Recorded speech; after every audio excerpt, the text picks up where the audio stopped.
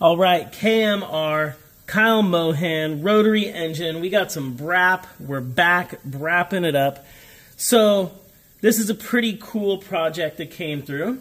It's actually an early side plate, so 12A based side plate 13B, where we've taken 12A side plates, early, um, I believe 1979 through 85 um, some variations there. I think these are actually 83 to 85, if I am not mistaken. But basically, they're pretty strong plates, classic plates. They could be used in 12As, 13Bs, truck motors, the Repus, the early RXs. Very versatile.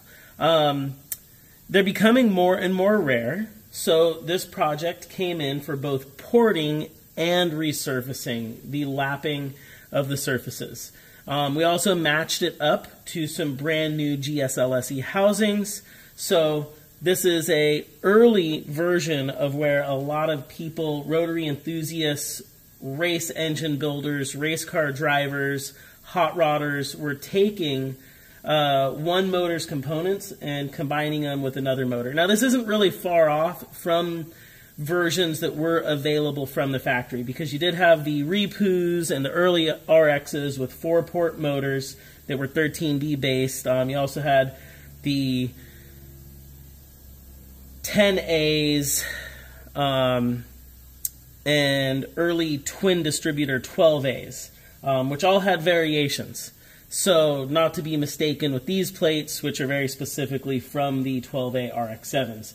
But anyways, the four port design was a pretty classic design. But in the RX-7 um, from 83 to 85, it was actually a six port, similar to the Renesis motor or similar to the 1986 through 91 naturally aspirated American model RX-7s, which were a mechanical secondary. So jump into hot rodding.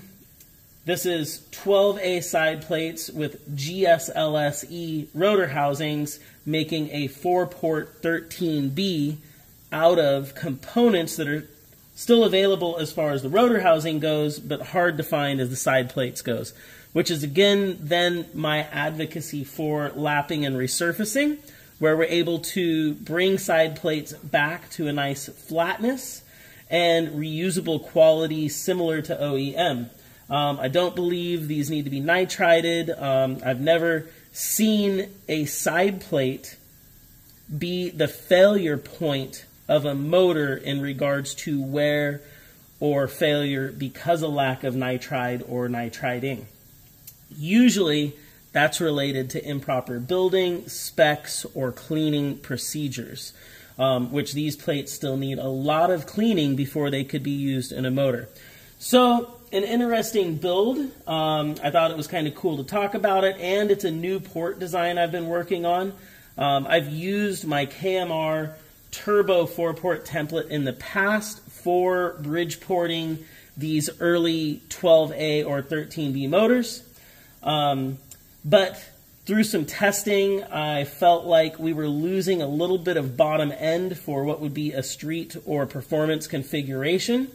Um, obviously, with the race configurations, usually cutting into the water seals, where you had a traditional bridge, GT bridge, giant bridge, J bridge, anything like that, where you were cutting into the water seals. Um, this is a little more modern, um, based off of turbo motors, or just the idea that you don't want to compromise your water seal, you don't want to compromise your head gasket. For performance, um, you're looking for reliability on and longevity while still seeking uh, the performance gains of a small bridge port.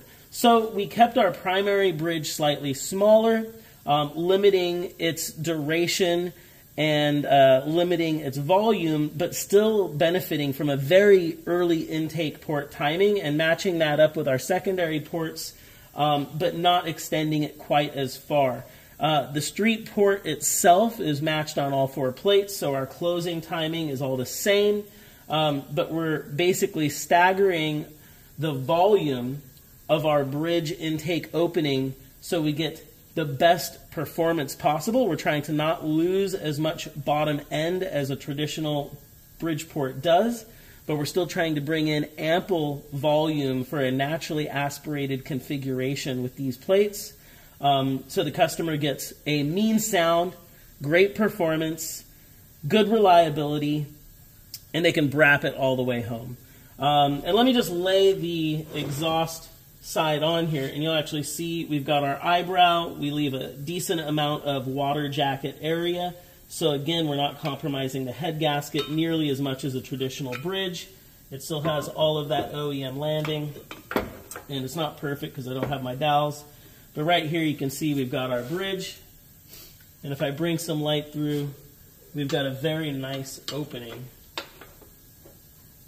bringing in air and volume substantially earlier. Again, talking about rotary timing as if it's cam timing. This is a substantial change to not only volume, but the duration that this port is potentially open. So that's a little KMR Tech Talk. Thanks for watching. A little more cleanup. This one's shipping out.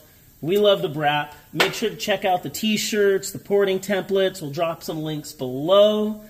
And let me know what you guys want to hear about and talk about. That's a BRAP.